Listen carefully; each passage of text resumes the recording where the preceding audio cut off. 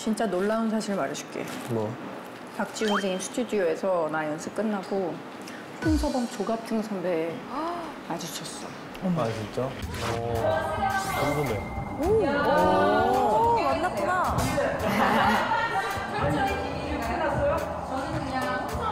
아이고.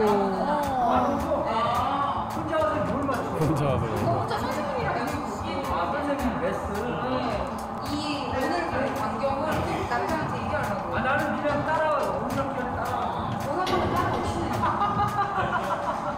그냥 두 분이서 그렇게 개인 연습을 오신대. 아 진짜? 되게 잘 쳐. 아 많이 드셨어 이제? 나이 늦은 게 아니라 그냥 원래 잘 쳐. 큰일 났어. 아니 나는 뭐 나는 뭐 뭐. 나는 금방 해.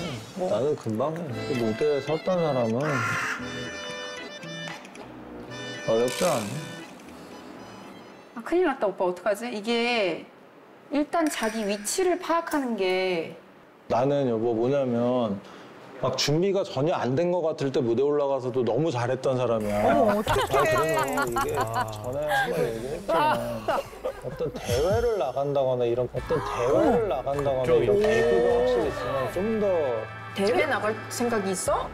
그래도 사람들한테 망신당하기 싫으니까 우리가 좀 더 열심히 할 수 있지 않을까? 오빠도 뭔가 이게 있어야 되는구나. 뭔가 목표 이런 게 좀 있어야 되는 스타일이신 것 같아. 아니 근데 오빠 그러면은 정말 취미 생활하는 사람들 나가는 대회라도 나가는 게 오빠는 더 자극이 될 것 같아? 어? 뭐가 있는 목표가 있으면 하지. 생활체육 아마추어 대회 정도를 나가려 그러면 뭐 선생님한테 물어보자. 아 그래? 와, 오빠 자신감 장난 아니다. 진짜. 네, 여보세요? 저희 좀 뜬금없는 얘긴데요. 우리가 연습을 해서 대회를 나가보면 어떻냐는 얘기가 나와서 어. 대회요? 대회요? 아니 그러니까, 그러니까 이게 무슨 뭐 어떤 프로 대회가 아니고 선생님 당황하셨네. 아마추어 당황하시지. 생활 뭐 이런 대회 같은 거가 있다면 그런 목표가 있으면 좀 더 저희가 더 멋있게 준비할 수 있지 않을까 싶은 저는 생각이 들어서 어, 네. 대회 같은 경우는 이제 생활체육 동호인분들도요. 네네. 보통 최소 1, 2년은 준비를 하고 와 맞아요. 진짜. 선생님 정말 냉정하게 저희의 수준이지만 어디쯤에 있는 건가요? 어머, 어머. 냉정하게 보면은 시작 단계죠. 아, 생활체육에서 아, 보통 저, 저- 시작 단계 시작 단계인 사람들 중에서도 저희가 많이 좀 떨어지는 수준인가요? 원하는 답을 들어야 돼. 시작 아. 대회는 쉽지만은 않겠다는 생각이 번뜩 드네요, 그러면. 아, 할수 있겠다고 생각한 제가 되게 경솔하다는 생각을 좀 했었고 선생님이랑 지금 통화하면서 그래도 좀 뭔가 느꼈어.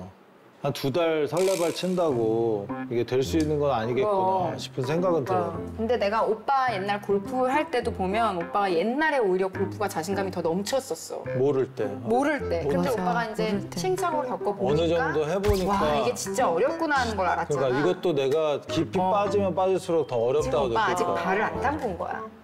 그러니까 연습을 많이 해야 돼요. 무조건 연습밖에 없어.